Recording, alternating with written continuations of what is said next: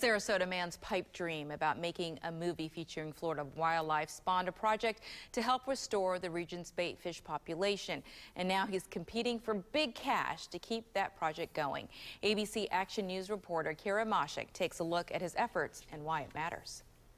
Philip Kiokio calls himself Johnny Fishseed. Like the famed Johnny Appleseed, he's helping grow a food supply.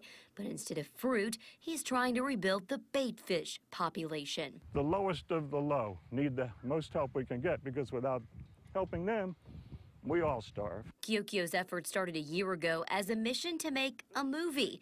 He tossed fistfuls of food into the waters near Sun Circle Park in Sarasota, planting his first seeds and documenting what happened with his camera.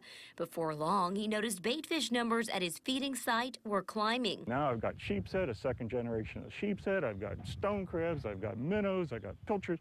I got all this activity. That's led to the creation of the Sea Babies Project, which now includes volunteers in four locations in Sarasota and Siesta Key. Those volunteers routinely feed snacks to bait fish in designated zones.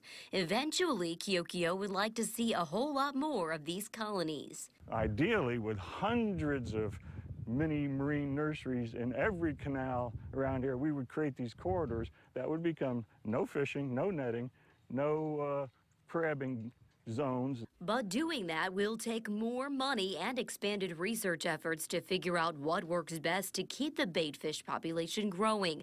That's why Sea Babies is competing for thousands of dollars in grant money in the first ever Gulf Coast Innovation Challenge. It's coming from the ground up, and it's folks who are out here every day doing it, acting as docents for marine life. And the foundation hopes win or lose, efforts like Sea Babies will continue helping sustain and grow the state's blue economy. In Sarasota, Kara Mashik, ABC Action News.